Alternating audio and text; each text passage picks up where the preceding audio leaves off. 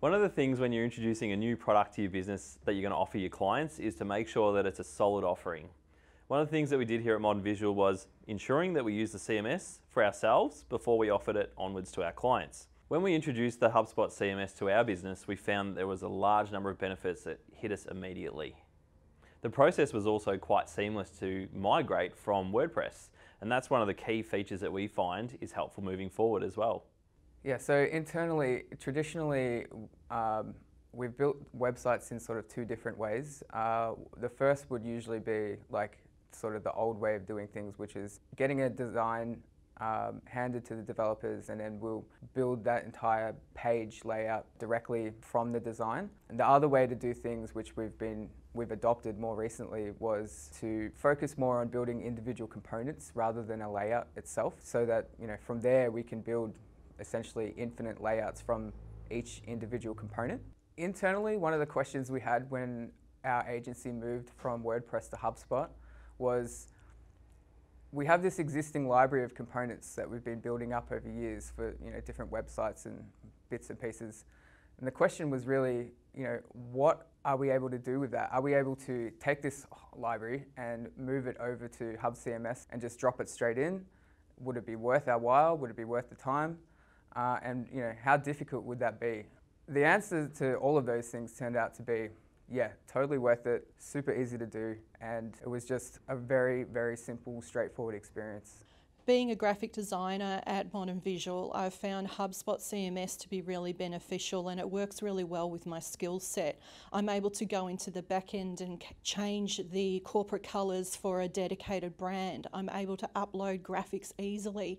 I can move things around in EDMs and on landing pages and it all just works seamlessly with the software and all the other skill sets that I use. And I find this really great because I can see everything in real time and make decisions on the spot. Uh, so overall, it makes our campaigns really eye-catching and on brand. After using the CMS for ourselves for some time, we were fully confident to provide the service to our clients. We found that HubSpot were extremely helpful with providing coaching and training to empower our team to deliver success for our clients. Now, I'll be honest, there were some speed humps in our transition to offering Hub CMS to our clients.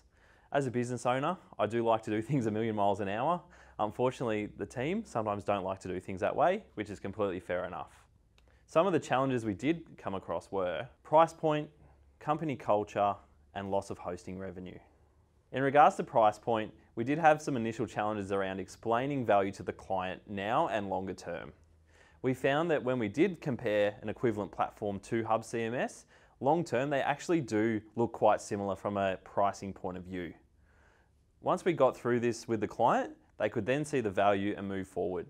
In regards to company culture, we did find that there were some challenges internally when it came to converting to the Hub CMS platform from a product standpoint.